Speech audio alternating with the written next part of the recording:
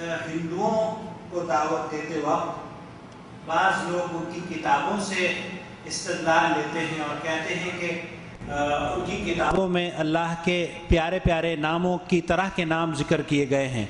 जैसे कि रब का माना होता है सस्टेनर और उसी सस्टेनर को अगर हिंदी ज़ुबान में कहा जाए तो विष्णु कहा जाता है। विष्णु की शक्ल ये होती है कि उसके एक हाथ और चार हाथ और एक सर होता है और बहुत बड़ी शर्मगाह जिसकी हिंदू पूजा करते हैं। तो क्या इस शक्ल सूरत की तशबीह को सामने रखते हुए इस गंदे नाम को रब और सस्टेनर के साथ इस्तेमाल किया जा सकता है हिंदुओं को दावत देने के लिए?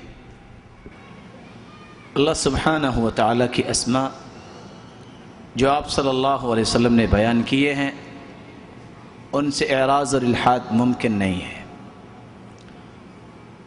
कुरान मजीद में अल्लाह सुबहान व ख़ुद फरमाते हैं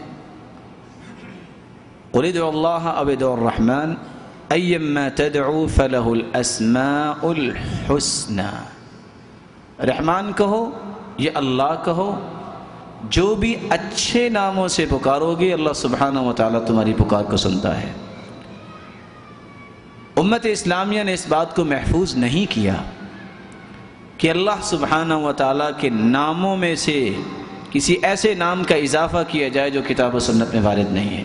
फ़ला तद्रिबुलमसाल अल्लाह के लिए मिसाल भी बयान करना जायज़ नहीं है। लई सकमिसली शई जब उसके मिसल कोई नहीं है तो फिर तशबी भी देना मुमकिन मखलूक की तशबी मुमकिन नहीं है, चूंटी का भी पाँव होता है और हाथी का भी पाँव होता है, बराबर है। तो खालिक मालिक में बराबरी कैसे, खालिक मालिक और मखलूक में बराबरी कैसे की जा सकती है?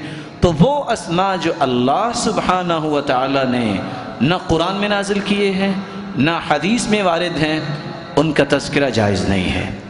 रहा कि एक शख्स को पता नहीं उसकी ज़ुबान है हिंदी, इंग्लिश या कोई और ज़ुबान है, दूसरी ज़ुबान जानता नहीं, वो अल्लाह का तर्जुमा करता है। ये जायज़ है।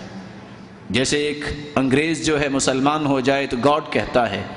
गॉड किसका तर्जमा हम करते हैं? अल्लाह का। और आपने इसराइल कुरान मजीद में, ये ईल कौन है? अल्लाह को कहा गया है। ये इसरा याकूब सलाम है। वख्तिलाफ़ वालसिनतिकुम अलवानिकुम। ये रंगों का इख्तिलाफ और ज़बानों का इख्तिलाफ, ये तो अल्लाह की निशानी है।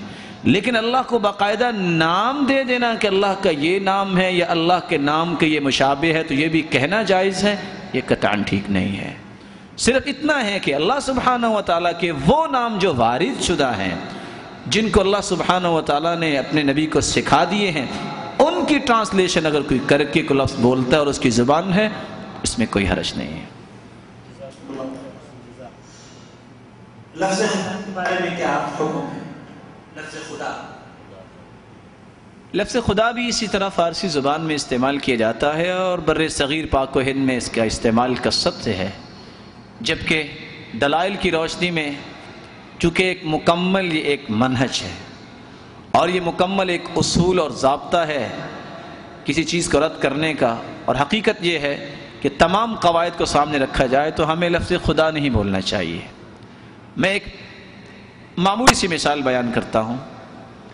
कुरान मजीद में आता है, ला राइना दुरना क्यों कहा है? राइना का लफ्ज़ बोलो ही ना, कुरान है। क्योंकि यहूदी क्या कहते हैं? राइना, वो हमारे चरवाहे अल्लाह सुबहान व ताली ने फरमाया, ये लफ्ज़ बोलो ही ना जिसमें शुभ आ जाए या जिसमें मेरे प्यारे पैगंबर की तोहन का कोई पहलू सामने आए, तुम लफ्ज़ उमजुर ना कह दो। इसलिए हमें लफ्ज़ खुदा से गुरेज करना चाहिए। और तसफ़ की बात तो ये है कि पाक हिंद में जितनी तफसीरें और तर्जुमे छपे हैं, सिवाय चंद के, वहाँ अल्लाह की जगह लफ्ज़ खुदा ही इस्तेमाल हुआ है। जबकि लफ्ज़ खुदा की जगह, लफ्ज़ अल्लाह का इस्तेमाल होना चाहिए, क्योंकि अल्लाह का लफ्ज़ जो है, ये सिवाय अल्लाह के किसी और पे बोला ही नहीं जाता। जबकि खुदा का लफ्ज़ अल्लाह पे भी बोला जाता है, और मखलूक में से कितने ऐसे मबूदा ने बातला हैं, उन पर भी बोला जाता है।